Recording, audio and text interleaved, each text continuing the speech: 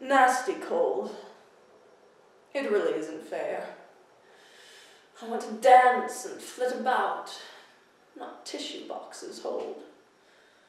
I want to frolic in the yard while yet the leaves still fall. I want to skip and twirl about. But germs heed not my call. Outside is damp, and I've been told I must stay nice and warm.